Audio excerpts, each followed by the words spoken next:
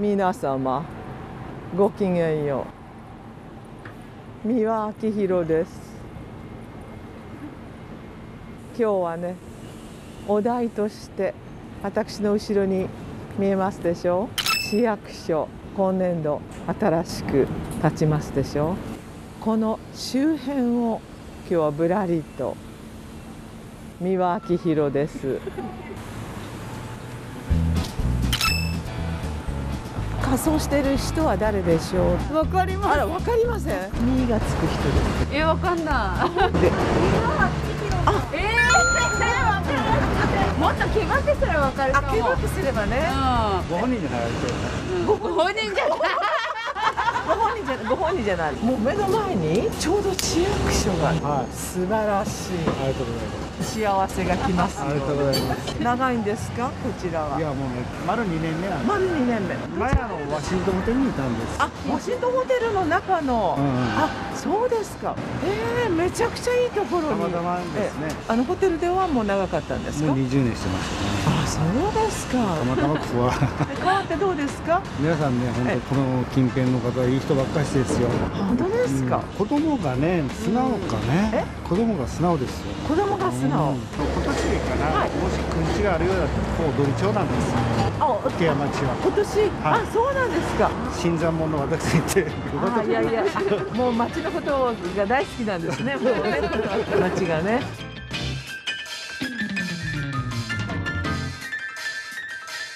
新しい市役所ですよ。うわーなんかほぼもう出来上がってるような感じがしますね。高い。大きい。わ近づくともっと大きく感じる。へえあこんな風になるんだ。わおしゃれ。あもっともっとなんか本当ビルだけじゃなくてこの周りにこう人がこう集うようなちょっとカフェみたいな感じのもあるし。えー、わ期待がなんか膨らみますね。長崎市公会堂跡地に建設中の長崎市新庁舎は高さ90メートルと長崎市内で3番目に高い建物になる見込みです。さあどんな施設になるのかイメージ映像を覗いてみましょう。1階のメインエントランスをくぐるとそこには広々とした開放的な窓口がガラリと雰囲気が変わりますね。そして2階には子育て関連の機能を集約。中央には待望のキッズスペースも誕生する予定なんです。さらに最上階には展望スペースや庭園が長崎の街を360度一望できなんと夜間も利用できるんだそうです。本当に完成が待ち遠しいですよね。さあこの新庁舎のすぐ近くにこれまた新しそうな建物を見つけたので行ってみました。あらここなんか新しいんじゃないですか？自転車とバイクのお店？レンタルバイク。ごめんください。あこんにちは。どうも。新しいお店ですか？去年の4月に建て替わって前からバイク屋さんここにやったんですけど。そうなんですか、はい。これレンタルとかいうふうに書いてよ。一月貸しでずっとお貸ししてるんですよ。あバイク。バイクを。バイクのレンタルっていうのは珍しくないんです一日貸しとかはやられてるところあるけど、かはい。1ヶ月。1ヶ月丸々貸しっていうのはないと思います。あじゃあここだけ。だと思います、はえー、ななぜそういうふうに？い、いや働きたくないから 借りていって帰ってくるの待たないかんっていう、うん。その間じゃうんあねえうん。何するのっていう話になるのでもう働きたくないからひと一月いや絶対働きたくないんですね。正直です。もともとは単身赴任や大学生など一定期間バイクが必要な方たちのために考えたプランなんだそうです。メンテナンス料オイルタイヤ交換具外付保険料などすべて込み安心して借りることができるんですね。そして2階ですけれどもずらりと自転車が去年リニューアルした際に販売を始めたんだそうです。うちはマルキンとブリヂストンとマルキンのは別ブランド、ネストっていうブランドと、はいはい。サードバイおークっていうブランドととあとスポーツ系でコーダブルームっていうそのブランドを扱ってて、長崎で扱ってるとこはそうないので。ああそうですか。まあ長崎はほら坂っていうかまあまあバイクはねあれですけど自転車の方ってねなんか。自転車はこれからだと思うんですよ。うん。こう市役所ができるでしょ、はいはいはい。で駅が開発されるでしょ、はい。こうみんな山の上からマンションできて下に降りてきてる？はい。じゃあ降りてきたらじゃあバイクんごといらんたいと？高齢の方バイクに乗りなさんの危ないっていうご年齢の方に自転車電動自転車。あこれ電動自転車ね。電動だとじゃあもう長崎で自転車はもう当たり前になると。なると思います。なるほど。すでに去年1年間ではバイクよりも電動アシスト自転車の方が台数が売れたんだそうです。中でも人気の車種を試乗させていただきました。これこれをステップクルーズステップクルーズっていうんですか。うわ。なんかすごいですね。あ前が引っ張られる。おっと軽い軽い。あ前どんどん引っ張っていく。おお楽。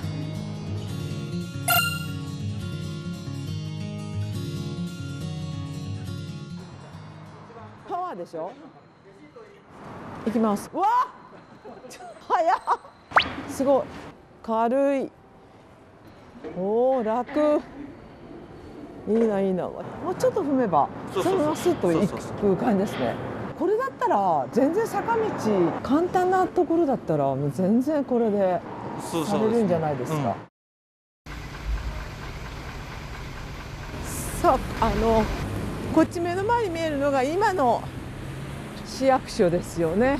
だからまあそんなに距離はなね今度の新しい市役所からそんな距離はない感じしますよねちなみに庁舎が移転した後なんですが現市役所の本館跡地は新たな文化施設。そして別館の跡地は桜町近隣公園として生まれ変わる計画が進行中なんだそうです。もうこの辺りもねガラッと変わりそうですよね。あそこがなんか新しいんじゃないですか？ファストサラダ。行ってみましょうか。うわーなんか新しいお店ですよ。サラダのくせにこんなに満足するなんて。サラダがもう主食。こちらは去年11月にオープンした話題のサラダの専門店。お昼時は行列ができるほど大人気なんです。イートインテイクアウトどちらもできるんですよ。ななぜサラダにしたんですか？えっと、もともとがですね弊社がお野菜の問屋をやらさせていただいてまして新鮮なお野菜をやっぱり末端のお客様にお届けできればなっていう思いでサラダを主体として、えーメニューを作らさせていただいているところですね。でやはり野菜だけでも満足できるようなボリュームとあとバラエティにさせていただいたメニュー作りをしております。注文は非接触のタッチパネルで食べたいサラダを決めたら次に好きなドレッシングを2種類選びます。私はおすすめのお味噌味噌とクリーミーツナをチョイスしました。トッピングもできますし他にもスープやドリンクなどメニューがたくさんあってもついついたくさん注文してしまいました。すごい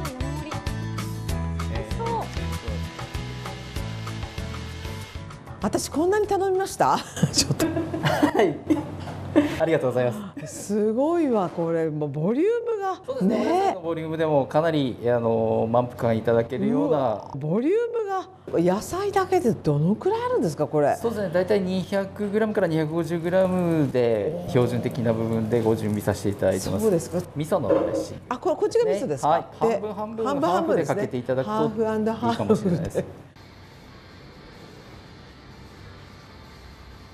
ドレッシング美味しい。ありがとうございます。めちゃくちゃ美味しい。全体さっぱりしてて、はい。でよくあのお野菜と馴染むし強くないんですよね。ね。んなに柔らかいですね。あのソフトな私どもドレッシングの中では味噌がやはり一番その日本人のマイルドな味のドレッシングになってますですね。なるほど。大体ですね、えー、とお野菜と豆類えーそれとえータンパク動物性タンパク質まで含めると、はい。まあ、8種類から10種類ちょっと超えるぐらいのあの盛り合わせになりますね。もう朝ごはんに。ありがとうございます。こんなにサラダにボリュームがあると思わず冬季限定のスープとスムージーまで頼んでしまいましたいかんなあのあのこのやり方はポンポンポンポン頼みすぎます、ありがとうございまい、かんいかんいかんいかんいかん。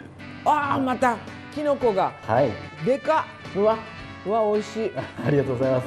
あこのさらっとしててめちゃくちゃ美味しい。やはりキノコのお出汁がやっぱりよく効いてるんじゃないかなと思います美味しいですね。香りとですねあでもなんか割り上が美味しいですね。なんか家だとそうですすごいこうこ濃くなるけど、はい。もうさらっとしててでも飲みやすい。いいな。私これ 麻婆豆腐食べてなかったら完食します、ありがとうございます。絶対美味しい。いこれはもう、はいちょっとサラダのくせにこんなに満足するなんて。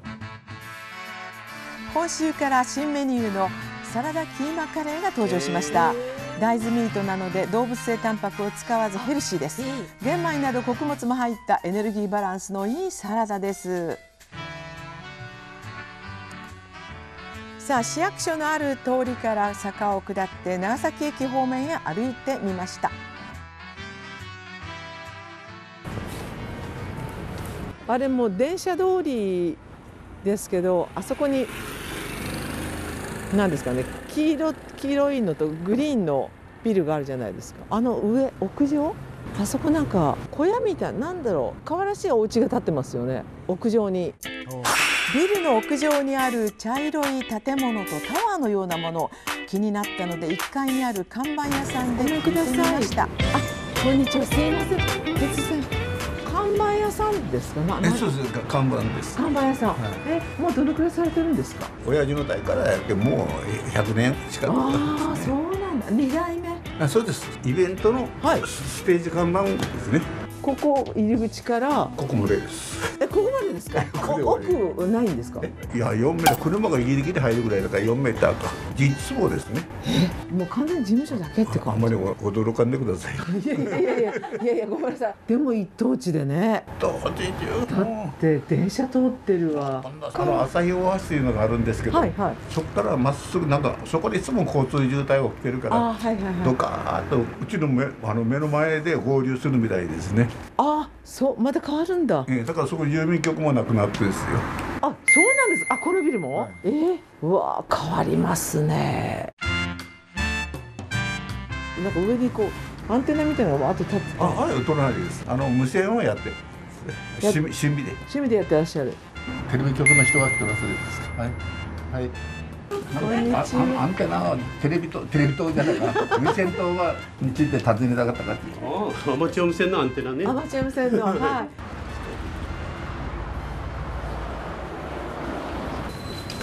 おおすごい。急 急に。おおこれが無線機です。あ無線機が。無線はどのくらいされてるんですか？いや僕はもう高校の時から無線してますから。か学校も無線の学校ですから。あそ専門だよもうそうですそうどんどん上がります。すごい。うわちょっと。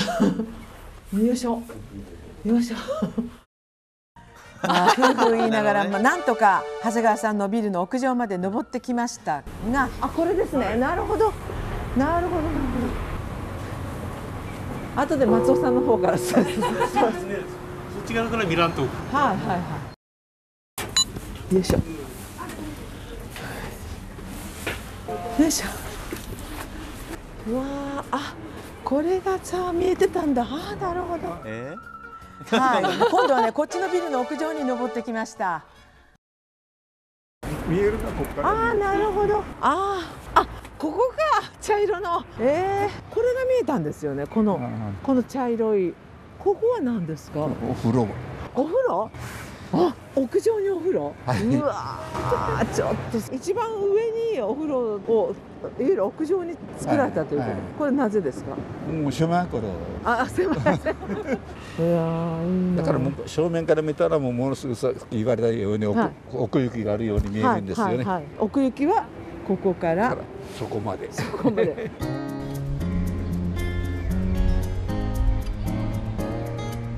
何歳と何歳なのかな？5歳とはい。1歳になったばっかり、あ。どんどんな町ですか？公園がいっぱいあるので、あの子供にはすごく住みやすいし、うん。お買い物とかもするのにも結構便利、あいいですね。育てやすいというか。そうですね、もうあ歩けるのかな？お外のオフィスデビューはええ。初めて。今日初めて外に。はい。あ歩いた歩いた。あーすごいすごい。初めてとは思えない。おお行く行く行く行く。すごい。力強い。慣れたねもうね。大丈夫ね。玉の浦公園の近くを歩いていると気になる看板を見つけました。あらちょっと劇団アクターズ。劇団ですって。うわこんなとこにあるんだ。本当ですか？うわ4階ですよ。そうよ一番上？ちょっと行くだけ行きますね。なんか手すり持って階段登るっていうのが。しかも4階。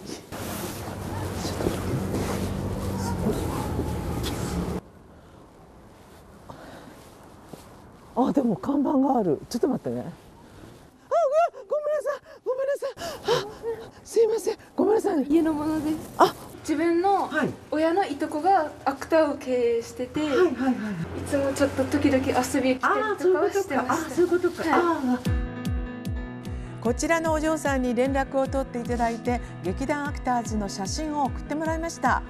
毎週火曜日と土曜日にこちらのビルで舞台の稽古をしているんだそうです今年で結成30年。小学校1年生から70代までおよそ30名が所属している劇団だそうです。会ってみたかったです皆さんに。明るいですねここ。チカチカしてますけど。バーフリー。え？日本酒とノンアル専門店。えー、劇団アクターズから稽古をしているビルのすぐそばで見つけた気になるバー。ちょっとお邪魔してみました。テレビ局なんですけどもカメラとかいいですか？こちらはいつからやってらっしゃるんですか？10月から昨年の10月オープンで。あじゃあ新しいお店で。そうですねあ、はい。そうですか。ここはどういったお店なんですか？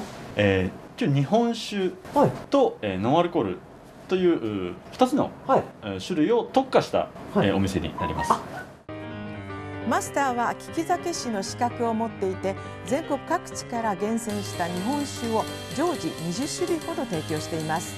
もちろんその他のアルコール類も取り扱っていますがノンアルコールのドリンクとはどんなものなんでしょうか？日本酒のノンアルコールとか焼酎のノンアルコールとか。もちろんスパークリングワインのノンアルコールとかえそういった種類があるんですね。ちょっと座って話そうじゃない。興味津々。まずいただいたのはノンアルコールの日本酒を炭酸で割ったカクテルです。サムライっていうもともとその日本酒のカクテルがあるんですね。あーそうもうちょっと微炭酸炭酸で割ってるのでサワーサムライサワー、あ爽やか柑橘系の。そうですね。あでもなんかアルコールを感じるんですよね。が、えー、と日本酒の多分香り。あ日本酒の香りだ香りですね。あの大吟醸みたいな甘い香りがちょっとする日本酒を使ってるので。あでもすっきりしてます。そうですね。そしてこちらはなんとノンアルコールの芋焼酎えーロック、ねあるんですよね、どんな感じなんだ。ろ ああちょっと芋ですね。芋。で す芋焼酎のあの匂いはわーって思ったんですけどそうですね。でもあの飲むとさつまいもですね。えしかも焼き芋みたいな。これいかんなちょっと。でも普通だと私これもうほら半分半分だけど2杯飲んでるでしょ、はい。もうガーッと真っ赤っかになってます今頃。あまあ私みたいに飲めない人でも脂肪になった気分を味わえるお店ということですね そしてこちら最近あるスイーツが大人気なんだそうです、ーマスプリンですマスプリン あマスに入れたうん、そうそうそう。マスの中全部プリンですか。プリンですこれはノンアルですね。ノンアルです ノンアルです。で上にはこれはアイスクリえーーム。抹茶アイスです抹茶アイスが。はそれで黒蜜ですか？黒蜜ときな粉面白いプリンがもう滑らか、柔らか。これだけど結構なボリュームですよね。意外とマス皆さんすぐペロって食べられますス全部プリン本当ですか？プリンと合うとか。酒飲みみたいなそうそうそうそうそうはい。見た感じで。普通のところで普通の芋焼酎頼みそうな気がする。なんか錯覚で自分ああなるがほどですね自信を持って。なるほどまた来ます。はいありがとうございますお待ちしてます